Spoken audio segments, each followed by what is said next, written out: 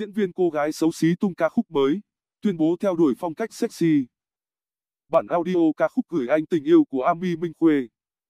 Sau 3 năm đột ngột mất tích vì biến cố gia đình, diễn viên phim cô gái xấu xí Ami Minh Khuê không chỉ tái xuất với dự án phim ảnh mới mà còn bất ngờ tung ca khúc mới gửi anh tình yêu. Mẹ đột ngột qua đời, Ami Minh Khuê đã trông chênh suốt một thời gian dài, thậm chí chuyển sang Singapore sinh sống để lấy lại cân bằng. Tuy nhiên, nỗi nhớ nghề đã thôi thúc cô trở lại Việt Nam với các dự án mới. Ami vừa hoàn thành xong vai diễn quan trọng trong phim Đàn bà đã cũ, dài 30 tập của đạo diễn Bùi Nam Yên, Trần Quế Ngọc. Cùng với đó, ngày 15 tháng 7 cô cũng chính thức phát hành ca khúc gửi anh tình yêu, sản phẩm âm nhạc hợp tác cùng nhạc sĩ Lương Bằng Quang và rapper Giác Nguyễn. Ami Minh Khuê chia sẻ, đối với tôi, diễn xuất là bản năng, ca hát là đam mê, Ami nhất định sẽ làm tốt ở cả hai lĩnh vực.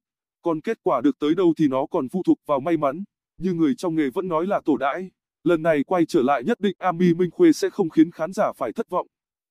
Ami Minh Khuê được khán giả biết đến với vai Hương, thành viên hội G7 nhiều chuyện, trong bộ phim cô gái xấu xí từng gây sốt trên truyền hình.